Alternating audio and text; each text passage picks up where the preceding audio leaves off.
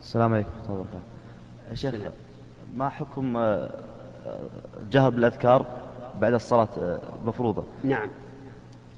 يسأل عن حكم الجهر بالصلاة بالأذكار بعد الصلاة المفروضة.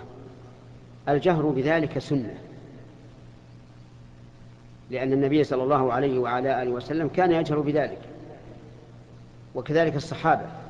قال عبد الله بن عباس رضي الله عنهما كان رفع الصوت بالذكر حين ينصرف الناس من المكتوبة على عهد النبي صلى الله عليه وسلم. لكن لو كان إلى جنبك رجل يقضي يقضي الصلاة فهنا لا تجهر لأنك لو جهرت شوشت عليه وأفسدت عليه صلاته. واضح؟ بعد الفجر والمغرب وبعد الظهر والعصر والعشاء.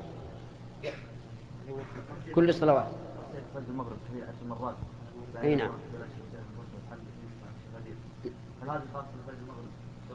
آه، المغرب والفجر عشر مرات.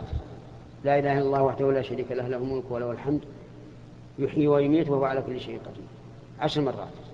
وما سواها وما سواهما فثلاث فثلاث مرات.